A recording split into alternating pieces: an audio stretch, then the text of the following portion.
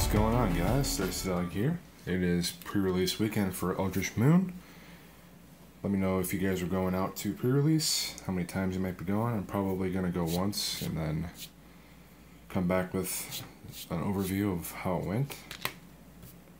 Probably going to be going to ARG because I don't know if you follow my Twitter, but if you don't, you see I posted a, a picture of a playmat that they're going to be giving away during the pre-release for each person. And since I'm from Cleveland and I'm a Cavaliers fan, it is pretty fantastic. So check that out if you haven't already. But for now, I actually just got in two more grab bags from Derium's. These two are from the Patreon support. So let's go ahead and cut these open. Uh, this one is supposed to be appear to be a little close to the top. I'm gonna knock them down. Here we go. I don't want to cut what's in there.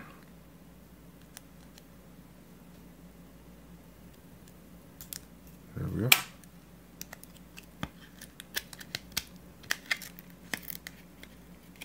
Come on. There we go. Alright, so for the first grab bag of the two, start off with a windstorm. A Corozda Guildmage, a Wicker Witch,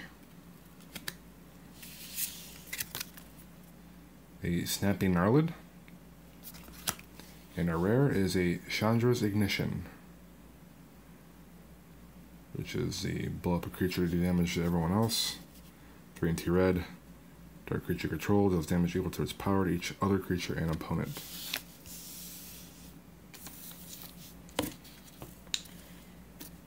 Whack the box that my camera's sitting on. Do that too often. Get this one open.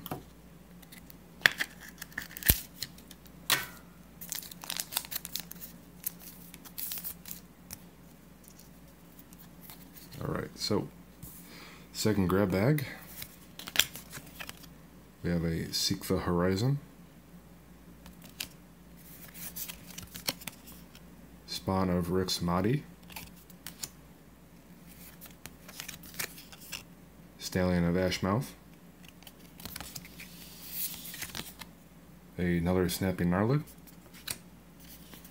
And we have a Spanish rare, of which I am not sure. So, we'll look that up real quick. Mind Unbound, it appears.